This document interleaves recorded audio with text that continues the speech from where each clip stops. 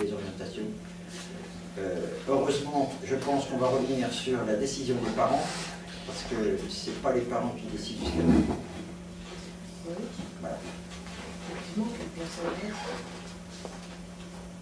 D'autres. euh, Moi, je voudrais juste rebondir sur les propos de monsieur parce que vous dites que, effectivement, c'est la coéducation. Euh, moi, de- pour mon avis personnel, je trouve que c'est très difficile d'approcher le corps enseignant.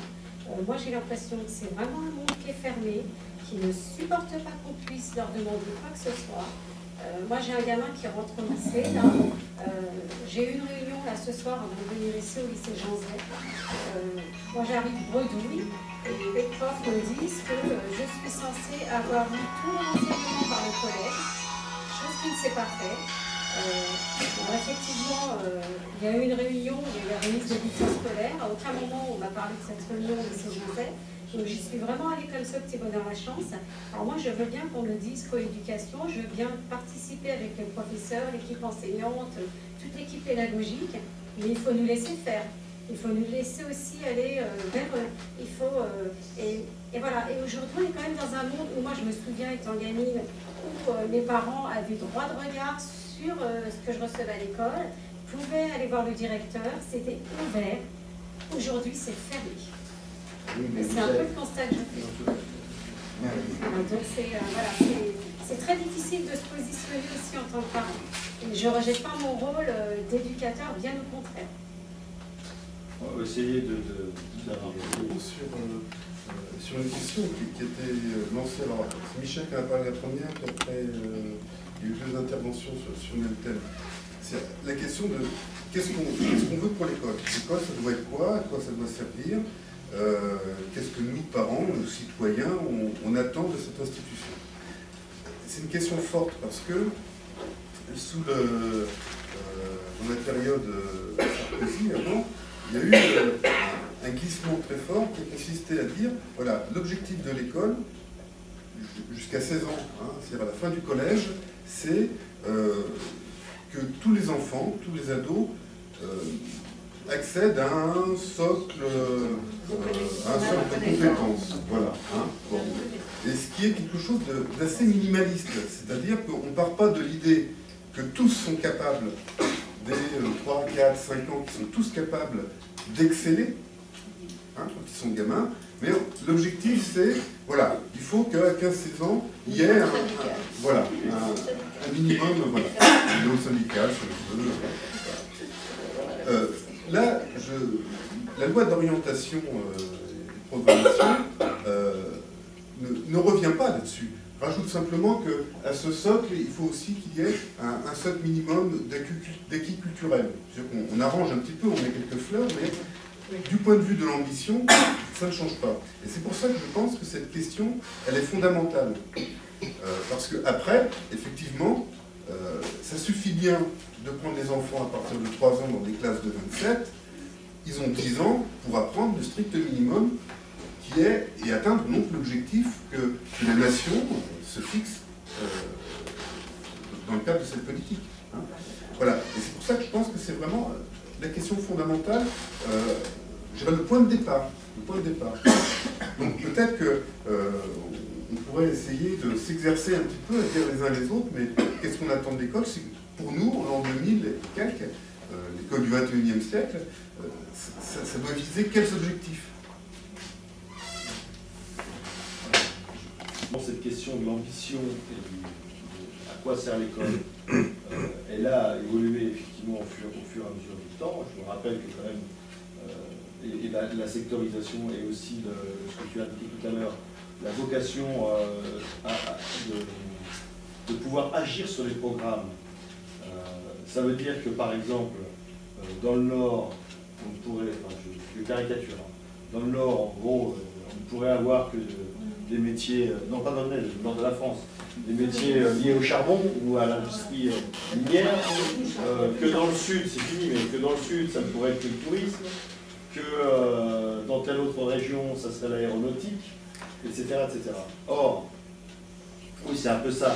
Et on voit bien que les filières euh, qui se développent sur l'école ressemblent à ça. Or, en fin de compte, on se pose pas la question de, euh, de, de l'aspiration de, de l'enfant, mais de l'être humain, quoi, clairement, de son ambition personnelle, pas personnelle au sens péjoratif, mais de sur quoi il, veut aller. Et, donc cette école, moi, pour moi en tout cas, elle devrait être le lieu de réalisation euh, du rêve et de l'envie, et pas, euh, pas un lieu où on met dans une boîte, oui, développement personnel, effectivement, d'acquisition d'acquisition, euh, bien sûr, de, de, de d'acquis culturels ou éducatifs, mais surtout un, outil de développement, euh, de développement personnel. Or, euh, longtemps, et encore aujourd'hui, je pense que l'école sert à, alimenter à la fois des filières patronales, c'est-à-dire qu'on a besoin dans certaines dans certaines industries ou dans certaines usines d'avoir tel type ou tel type d'employés ou de salariés et, pas euh, forcément euh, des salariés les plus, euh, les plus éduqués.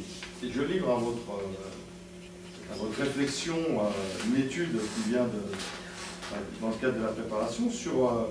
c'est l'Observatoire des inégalités hein, qui, donne des chiffres. et qui explique que le niveau de diplômé, euh, c'est par rapport au niveau de diplôme dans les différentes catégories sociales. Là, on va toucher à la reproduction euh, euh, des inégalités sociales qu'abordait un petit peu Jean-Marie tout à l'heure. 62% des cadres supérieurs possèdent un diplôme de niveau Bac plus 2, ça peut paraître logique, contre 1% des ouvriers. Et ainsi de suite, donc ça donne la répartition par, par catégorie sociale du niveau d'éducation. Et euh, la conclusion que fait euh, l'Observatoire des inégalités, c'est euh, que ces données, donc le fait qu'effectivement, bah, parmi les ouvriers, on a très peu de gens diplômés, ça va du certificat d'études, l'équivalent du BEPC à, à Bac+, ces données traduisent l'importance en France des diplômes, et ça on sait que la qualité des diplômes est, est importante, mais aussi la faiblesse des possibilités de promotion interne, de valorisation de l'expérience, avoir un niveau de diplôme peu élevé ne permet que très rarement d'accéder à des postes d'encadrement. Et, et, là, on voit bien qu'en fin de compte, euh, ça, conditionne aussi à un moment donné l'avenir des, enfants.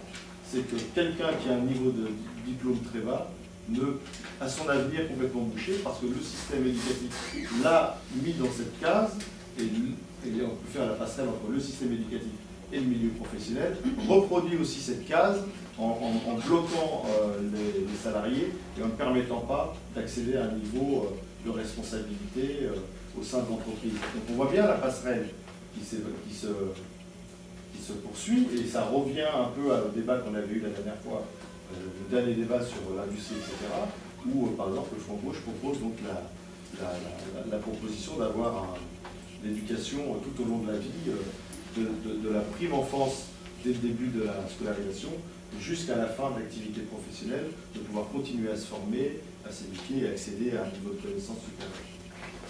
Alors, quid Quelle école voulons-nous à vous euh, bénéficiaire d'un CAP euh, arrive des fois à mieux trouver un emploi que parce que plus euh, comment en lien avec le, les lieux du travail qu'une personne qui va être diplômée bac plus 4 ou 5. Donc voilà, il faut aussi une reconnaissance du, diplôme et puis voilà, revaloriser tous ces. Ne pas uniquement axer sur des diplômes, comment, intellectuels, je ne sais pas comment dire.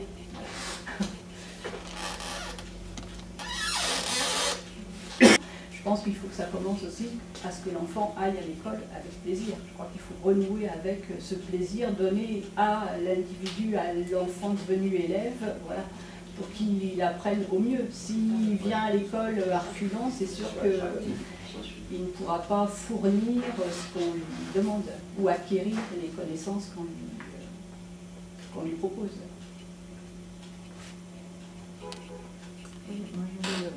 C'est un paradoxe qu'il faut absolument prendre en compte, parce que là, le gouvernement actuel euh, met des mesures urgentes, euh, mais repousse les programmes, euh, tout ça en 2015-2016. On se dit, bon, qu'est-ce qu'ils vont encore nous pondre? Ça fait des années et des années que les programmes sont revus à chaque gouvernement, ils ne font qu'en rajouter.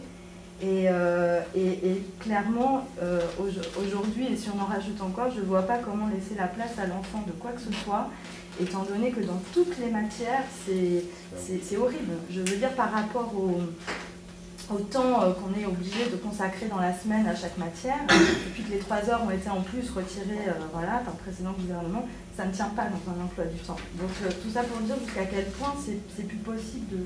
Enfin, est-ce qu'on voilà, on est fonctionnaire, on a un programme aussi à faire euh, c'est, enfin, moi je sais pas, les, c'est- et pour moi c'est un, un nœud, euh, je dis pas le problème à résoudre, mais en tout cas il faudrait vraiment, vraiment faire quelque chose, un allègement des programmes évident, parce que les, enfants croulent sous une quantité d'informations de travail euh, qui leur laisse plus la possibilité, euh, en tout cas à ceux qui ont des difficultés, à mon sens, de, de s'épanouir, c'est c'est pas possible.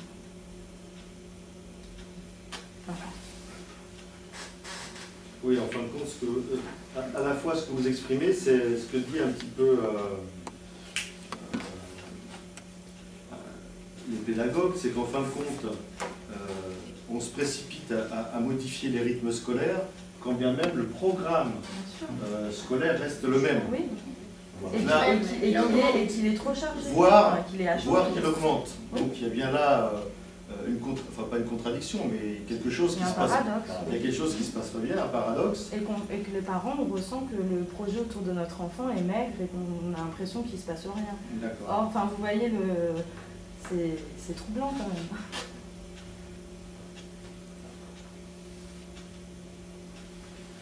D'autres Oui, moi, il faut aussi peut-être se pencher aussi euh, sur les, les enfants à l'école, mais aussi les enseignants, leur donner, bon là, plus de possibilités d'apprendre, parce que euh, je pensais qu'aux dernières, euh, aux dernières comme, rentrées scolaires, il y avait des enseignants, des enseignants qui n'avaient pas fait l'école qui se faisait dans le temps, d'une part, et d'autre part aussi maintenir des classes, mais pas au niveau qu'il y a maintenant. Ce sont des classes qui sont surchargées, et ça, euh, l'enseignant lui-même ainsi que les enfants, ils ne peuvent pas avoir une bonne, une bonne conduite l'un et l'autre, c'est pas possible. On peut penser, s'il y a un enfant qui est un peu dissipé, si on n'arrive pas à le voir, il y en a deux, il y en a trois, il y en a quatre, et ça, ça arrive à partir de la, de petite enfance. Et, euh, en Seine-Saint-Denis, euh, il ne faut pas oublier les enfants non francophones, qu'il y a énormément, et le peu de clean, euh, les, les classes spéciales pour eux qui, qui sont en manque euh, total. Donc en plus des enfants dissipés, euh, voilà, il y a les non francophones, les, les enfants porteurs de handicap aussi, qui ont euh, normalement des DBS, qui bien normalement. Voilà, ouais. Enfin bon, euh, c'est, tout, est, tout est parti. euh, enfin, Ce que disait tout à l'heure Jean-Marie, c'est que des politiques successives ont conduit à la fois à la disparition d'un certain nombre de- d'enseignants en masse, hein, et le plan proposé ne, suffit pas à, compenser. Euh, L'effet d'annonce a fait qu'à la rentrée 2000, euh, 2012, euh, on a été chercher du personnel pour compléter l'enseignement qui n'était pas forcément, qui n'avait pas forcément suivi le cursus euh, de ce que faisaient avant euh, les enseignants. Et euh, effectivement, on a fait disparaître aussi tous les systèmes d'aide et d'accompagnement des, des- des élèves en difficulté. Euh, par- comment Sous prétexte d'intégration. voilà, alors voilà, donc, euh, et euh, en plus, on revient à des niveaux, entre guillemets, c'est un terme qui n'est pas très joli, mais des ratios de nombre d'élèves par classe, qui sont quand même relativement hauts.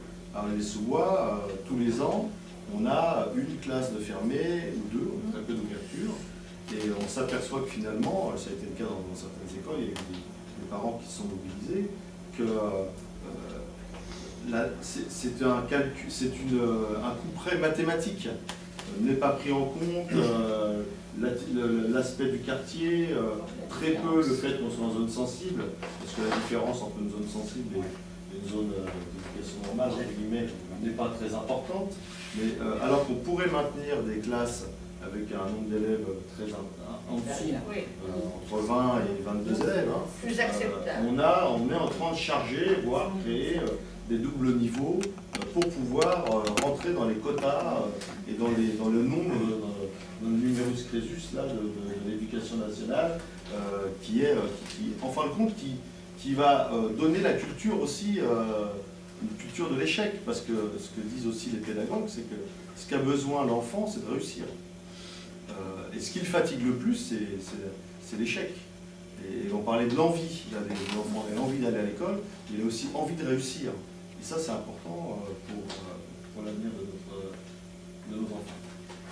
Euh, madame, qui est enseignante agronomie, doit bien savoir qu'en Seine-Saint-Denis, il y a ce qu'on appelle, euh, entre guillemets, ce que j'appelle la théorie des seuils, hein, c'est-à-dire 25 quand on est en ZEP et 27 hors ZEP. Hein. il faut effectivement savoir que le couperet euh, tombe facilement, puisque le nombre de classes n'est pas déterminé autrement que par le nombre total qu'il y a dans l'école, divisé par 25 et 27, et ça nous fait tant qui fait que c'est important, c'est parce qu'il peut vous manquer deux élèves pour avoir une classe supplémentaire, malheureusement, ça vous ne l'aurez pas. Comme vous ne l'aurez pas si c'était une demande d'ouverture, et puis vous pouvez ne plus l'avoir si c'était une pseudo-fermeture euh, sous contrôle. Et vous savez aussi que les comptages à la rentrée scolaire, c'est l'IEN qui les fait, c'est elle qui choisit le jour. Alors on lui demande, parce que notre fédération avait demandé à ce qu'elle décale d'une semaine, oui, la, FCPE, pour, pour, la citer. Ben oui. Alors, en gros, la FCPE avait demandé à l'inspecteur académique de déclencher ses contrôles, non pas à la rentrée, mais une semaine après. Mais sur, sur ce rang, Madame l'inspectrice n'a pas, pas attendu, le, quasiment le lendemain de la rentrée, elle avait compté et elle avait euh, confirmé des fermetures. voilà. C'est comme pour parler euh, sur monsieur qui disait l'obligation scolaire 3 ans, 16 ans, la FCPE a demandé 2 ans, 18 ans au cours d'un congrès national.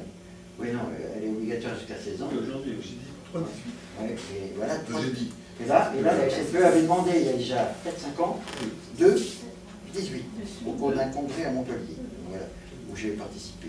Donc, vous voyez, il y a tout un tas de, de, contextes. Alors, si on fait 2, 18, effectivement, ça fait 16 euh, ans de, il faut effectivement, comme dit madame, que l'enfant, qui devient l'élève, l'enfant, on parle d'enfant maternel, mais il devient l'élève quand il rentre en CP. D'ailleurs, je vous rappelle que l'école est obligatoire qu'en CP, à partir de CP, c'est-à-dire que la maternelle part en pauvre, hein, on va dire. Il y a même des, des, des, municipalités qui ont ouvert aux deux ans pour ne pas avoir de fermeture. Hein, c'est une technique. Donc, l'enfant qui devient l'écolier, qui devient l'élève, effectivement, à un moment donné, s'il n'a pas l'intérêt, s'il n'a pas l'ouverture d'épanouissement, si on ne laisse pas un peu, je dis entre guillemets, rêver, dans le bon sens, il est évident qu'il va y avoir de l'absentéisme. Et qui dit absentéisme, dit quoi? Non acquis, échec, et après, on les retrouve euh, déscolarisés, euh, c'est souvent. Moi j'habite un quartier où ça arrive aussi souvent. Il y, a, des élèves qui vont en cours, mais il y en a d'autres, c'est fini. Hein. Donc effectivement, il faut que les enfants soient, comme disait la fédération, le centre du système éducatif.